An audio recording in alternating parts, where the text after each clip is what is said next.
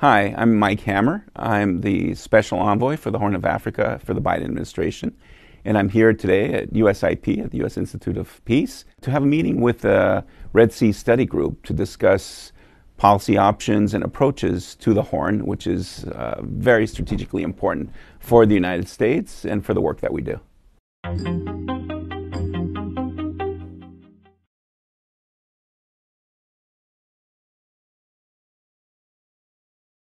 The Horn represents a region that is quite important on the continent of Africa. Uh, if you look at where it's placed with the Red Sea, the, Gulf of Aden, and then the Indian Ocean, they're very important transportation routes that go through those waterways. But also, if you think of Ethiopia as the second largest population in sub Saharan Africa with 110 million people, and then a terrorist group in uh, Somalia, Al Shabaab, and then the importance of the countries in the region, uh, whether you look at Kenya a little bit further south or further north, uh, Egypt. Uh, the issues that attract our attention as the United States, whether it's concerns over stability or concerns about humanitarian needs with a drought or famine, uh, mean that the United States must be engaged and must show leadership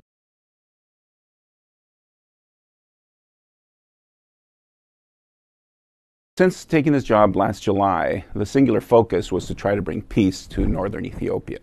the world's then worst and most horrific uh, conflict, which didn't really make a lot of headlines, and particularly not since the, the Russian invasion of Ukraine, but one which cost hundreds of thousands of lives and was just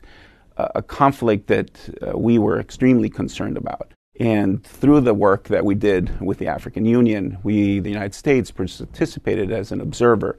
in the African Union led talks in Pretoria of, of uh, October and November of last year, which produced the cessation of hostilities agreement on November 2nd. And we're very proud to have supported that effort along with uh, others. And uh, now we've seen a silencing of the guns, efforts to have humanitarian assistance delivery to northern Ethiopia, to the affected regions of Tigray, Afar, and Amhara uh, to meet the needs of the people, restoration of services, and now to move to other issues of, of importance, including ensuring that Eritrean troops uh, are completely removed from from the region, and that you deal with other uh, Amhara special forces and um, uh, Fano groups that are active in, in the area.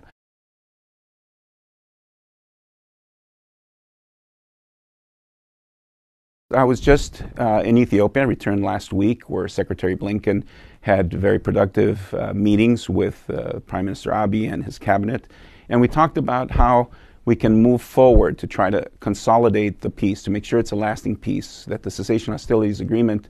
delivers for the Ethiopian people, and it's important that, of course, you make progress on issues relating to the establishment of an interim regional administration, and we've seen steps in that direction so that uh, schools can reopen, so that health centers can be rebuilt, uh, so that people can return to their their uh, jobs or work uh, in agriculture, and to bring some level of stability uh, to northern Ethiopia. And we've seen progress, and then we'll look at issues relating to demobilization, uh, complete uh, the disarmament that's been committed to in Pretoria and eventual reintegration of, of some of those combatants uh, into society. And there's the big issues of reconstruction. But even as we look at that, we had conversations, Secretary Blinken did, uh, with the Prime Minister on concerns of you know, gross violations of human rights and ensuring accountability, transitional justice. So we have a full uh, range of uh, activities that are important uh, to try to make progress in after this uh, very traumatic uh, war that has affected so many Ethiopian lives.